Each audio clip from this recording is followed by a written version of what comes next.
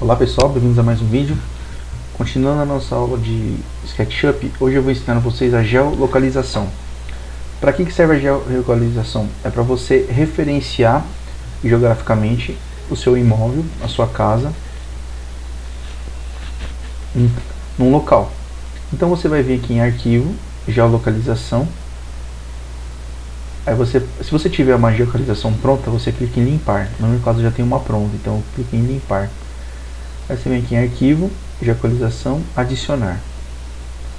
Tá? Tem que estar com a, com a internet conectada. E aqui você pode pesquisar visualmente no mapa, ou você pode digitar no endereço. Então eu vou pegar aqui Esse quadrado é o seu limite, tá vendo?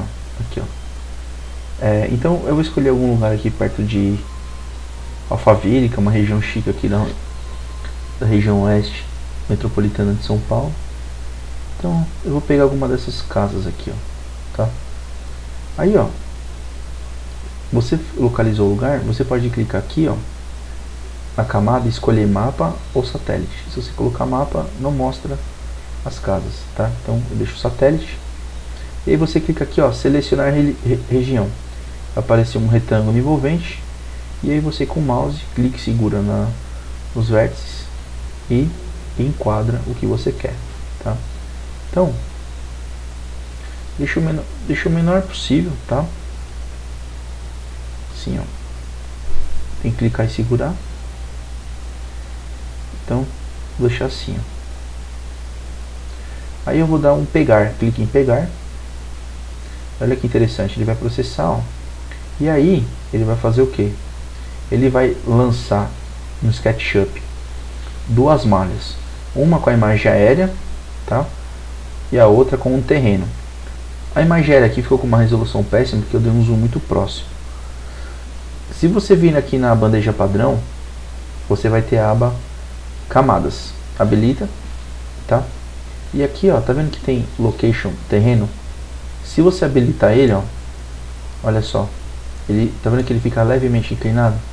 São o que? É, são as curvas de níveis, tá? É o formato do terreno. Então aqui, ó, se eu tirar o snapshot, ó, tá vendo que tem um terreno?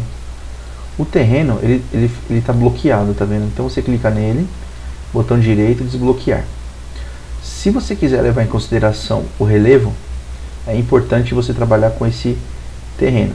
Agora, se para você não importa a altimetria do lugar, né, a topografia, então você pode até apagar o terreno e deixa o snapshot. Ele vai presumir que tudo é reto. Tá? Então, no caso aqui, por enquanto, como a gente está trabalhando só com visual, eu vou pegar o terreno e vou deletar.